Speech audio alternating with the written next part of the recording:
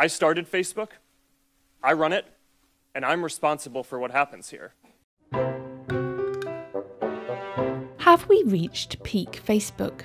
That's what people began to ask when the company's market capitalization lost over $100 billion in a day. Investors had looked like Facebook's only friends. Many younger users had deserted the social network years ago for alternatives like Snapchat.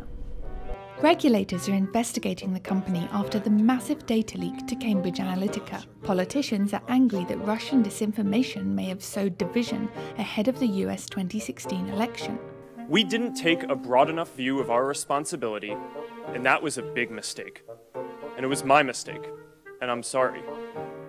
But nothing had lost the friendship of investors who had bid the stock up to an all time high. Facebook's shares had bottomed out in March after the Cambridge Analytica scandal first erupted, but since then they've gone on a very nice rally. That meant the shares were extended or perhaps overextended leading into this earnings season. It's important to remember that Facebook's shares are still higher than where they started the year. So investors clearly spooked by these results, but they're hardly panicking yet. Facebook makes its money from advertising. Growth is partly faltering as it tries to find new places to put ads in front of eyeballs. But advertisers seem unlikely to desert the network just yet. Advertisers have surprisingly to some not pulled away from the website. Uh, we've seen even in this quarter when there were a lot of bad results, advertisers spent 13 billion on the website.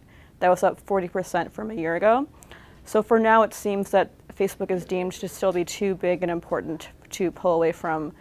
Facebook and Google still had this duopoly in terms of digital advertising. So if you want to be seen online, there isn't much of a choice still other than to spend on Facebook. Advertisers might be pushed to leave Facebook if the bulk of users were to go elsewhere. But user numbers keep rising. The hashtag delete Facebook movement after the Cambridge Analytica scandal failed to make an impact.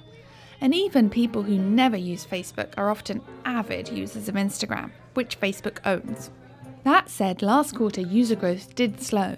Facebook is mainly adding users in developing countries which don't have large digital advertising markets.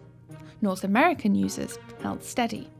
And European users actually dropped by a million, as new privacy rules meant they had to consider data protection policies before logging in.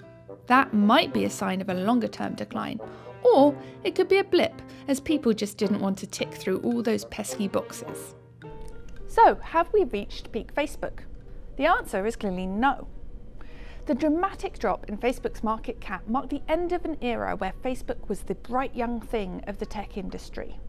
But now, as it starts to grapple with some big grown up problems, we see that it still remains by far the largest social network in the world.